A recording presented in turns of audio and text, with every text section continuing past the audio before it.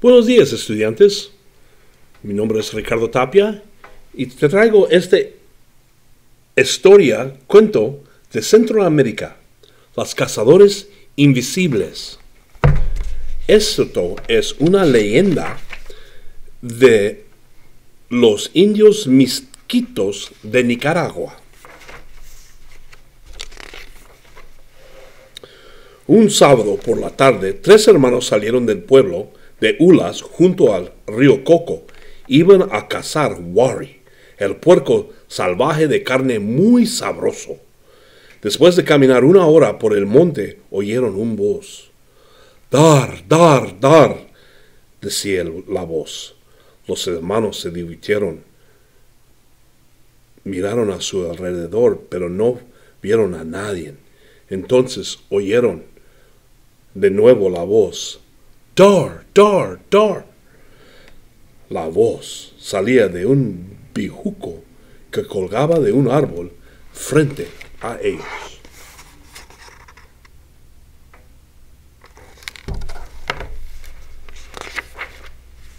El primer hermano agarró al dibuco y instantáneamente desapareció.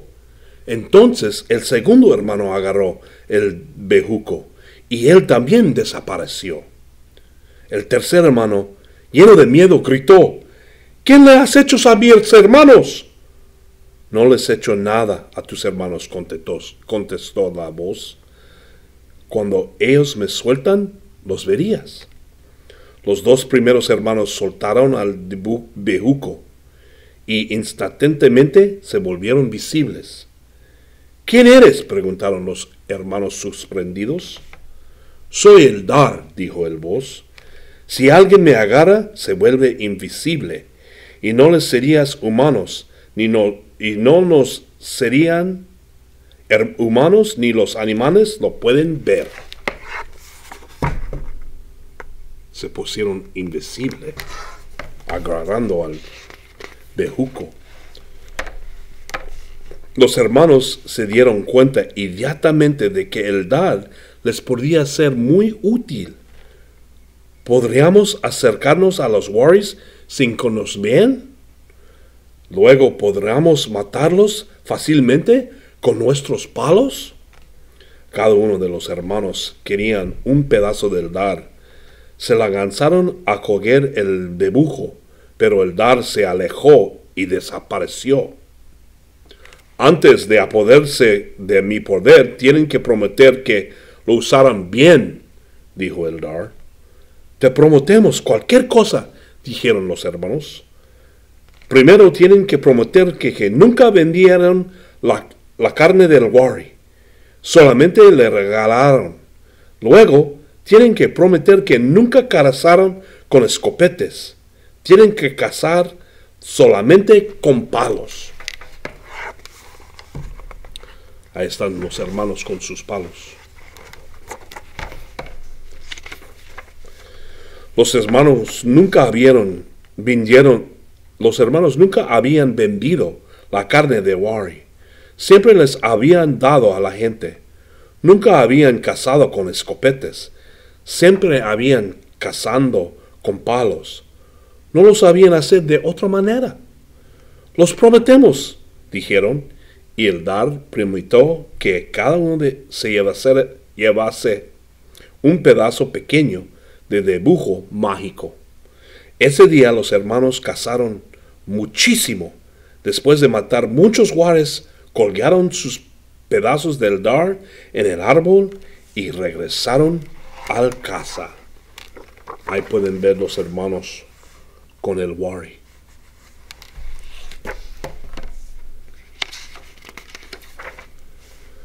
La gente de Ulwas recibió a los hermanos con mucho regucio. Limpiaron los animales y los colgaron sobre el fuego. Pronto el delicioso aroma de la carne asada llegó a todas las casas de la aldea. Cuando el carne estuvo lista, los hermanos lo cortaron en pedazos y lo compartieron con todos. Nunca habían comido tan bien la gente de las Uloas. Más tarde esa noche, Los anuncios de la aldea de los les preguntaron a los hermanos cómo habían conseguido tantas wateries. Los hermanos les contaron las promesas que habían hecho al dar. Qué buena suerte han tenido, dijeron los ancianos. Hemos oído hablar de ese bejuco. Es muy viejo y muy poderoso. Mientras cumplan sus promesas, nuestra aldea prosperará y nuestra gente los honrará. Están muy contentos los, las personas de la aldea con tanto carne que tienen que comer. Cuando la ayuda con la ayuda del Dar, los hermanos convirtieron en cazadores famosos. se contaban cuentos sobre ellos en todas las aldeas a lo largo del rico Coco y hasta más allá. Un día llegó a los Ulwas un barco con dos extranjeros. Los extranjeros salieron a los hermanos y los dijeron, los dieron regalos, telas de muchos colores y barrilas de vino. Hemos viajado por muchos días para conocer a estos cazadores famosos, dijeron. Los hermanos los invitaron a comer con ellos. Después de la comida, habían venido a comprar carne de Wari, porque los extranjeros eran comerciantes. No podemos vender el Wari, dijeron los hermanos acordándose de la prometa al dar. Eso es lo que come nuestra gente. Ahí vienen los extranjeros de afuera del, del pueblo.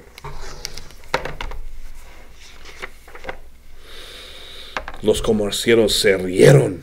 Nunca pensamos que cazadores tan famosos fueran tan tontos. Claro que la gente tiene que comer. Solamente queremos comprar lo que sobra. Los hermanos se sintieron tentados. Hablaron entre sí. Quizás podemos vender nada más un poco de carne, dijo el primer hermano. Pero el Dart lo sabrá, dijo el segundo hermano. Los hermanos se miraron nerviosamente. Entonces el tercer hermano dijo, Hemos visto que los comerciantes son hombres muy hábiles. Su poder tiene que ser mayor que el poder del dar. Los otros hermanos ansintieron. No valdría la pena discutar a los, disgustar a los comerciantes.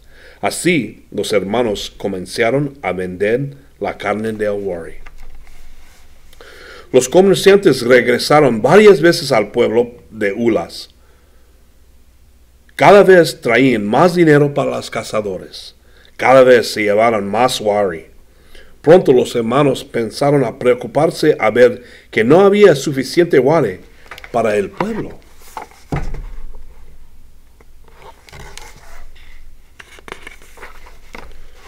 Los comerciantes se rieron de, los, de sus preocupaciones. Es culpa de ustedes por cazar solamente con palos, dijeron. Pero siempre hemos cazado con, palos. Esa es la razón por la que no pueden alimentar a su pueblo. Tienen que cazar los guares más rápidamente. Necesitamos escopetes.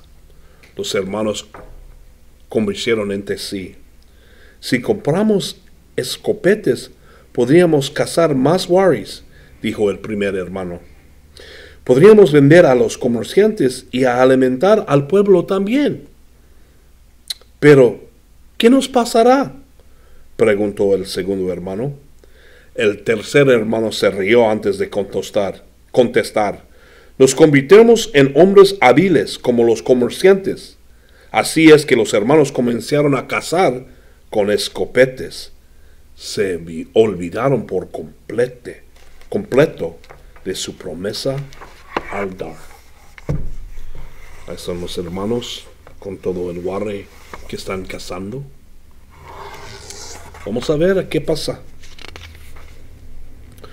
Poco a poco, sus corazones se alejaron de su gente. Mientras más carne cazaban, más vendían a los comerciantes se estaban acostumbrando a las cosas que podían comprar con el dinero que, que ganaban. los ancianos del pueblo hablaron seriamente a los hermanos. Necesitan darle de comer a la gente. Tienen hambre. Los hermanos respondieron enojados. Si quieren comer carne, los pueden pagar como ella, por ella como hacen los comerciantes. Los hermanos se estaban poniendo un poquito grandes sus, por sus pantalones, ¿eh? Queriendo cobrar a la gente por el worry. Pero la gente no tenía dinero. Comenzaron a esperar a los cazadores en las afueras del pueblo. Cuando los cazadores regresaron cargados de worry, la gente les pedía carne. Los hombres listos no regalan lo que pueden vender, se dijeron los cazadores. Así que les daban a la gente la carne malgrodada, que no se podía vender el, mal, el carne malo. La gente se enojó. Ya no son ustedes nuestros hermanos, les gritaron. Los cazadores se reían y seguían, seguían su camino. Hasta hicieron a un lado a los ancianos que trataban de resanar con ellos. Mira, la gente se está poniendo enojado y los cazadores no lo están poniendo atención. Así pasaron muchos meses. Un día, cuando los hermanos regresaron al pueblo, la gente se, no se reunió a su alrededor como de costumbre. Algunos se los, cubrieron los ojos y gritaron. Otros miraron increídos a la extraña procesión de warriors muertos que se movían lentamente por el aire. Solo los ancianos entendieron que era lo que pasaba. Eldar ha vuelto invisibles a las cazadores, dijeron. Era verdad, los hermanos eran invisibles. Habían dejado de sus pedazos de dar en el árbol como costumbre, pero habían permanecido invisibles. Algo no iba bien soltaron los animales que llevaron y corrieron hasta, hasta el árbol. Ahí se ven invisibles los cazadores con, el worry. ¿Qué nos ha hecho? Le preguntaron al amarros al Dar, pero el Dar no los contestó. Los hermanos cayeron de rodillas y lo regaron al Dar que les ayudara. Pero el Dar solo repitió su nombre una y otra vez.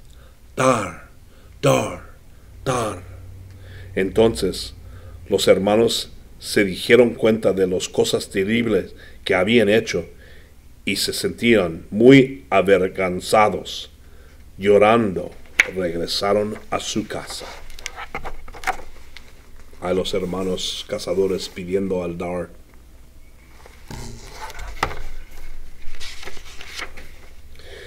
En las afueras del pueblo los esperaban los ancianos. Los hermanos les rogaron que los perdonara, pero los ancianos no los perdonaron.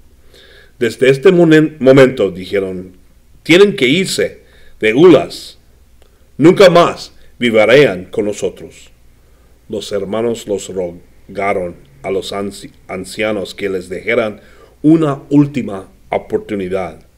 ¿Cómo podemos vivir lejos de nuestra gente? dijeron llorando. Pero los ancianos le dijeron la espalda y se fueron. Así los cazadores invisibles dejaron su pueblo para siempre.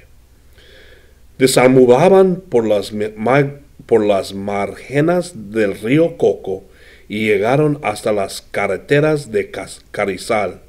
Mientras vagaban, llamaban al dar, regañándole que los volviera visibles de nuevo. Todavía están invisibles y los ancianos no lo están dejando regresar al pueblo. Algunos de los místicos del río Coco dicen que los cazadores todavía vagan después de todos estos años. Algunos, algunos hasta dicen que los cazadores invisibles han pasado juntos a ellos en el monte. Saben que es así, dicen porque han oído los voces que llaman, Dar, Dar, Dar. Y ahí están los hermanos. Al fin. Muchísimas gracias por poner tu atención, estudiantes. Y recuerdo que pueden subscribe para recibir correos electrónicos cada vez que podemos nueva historia en el website. Que pasen gran día y hasta la próxima. Adiós.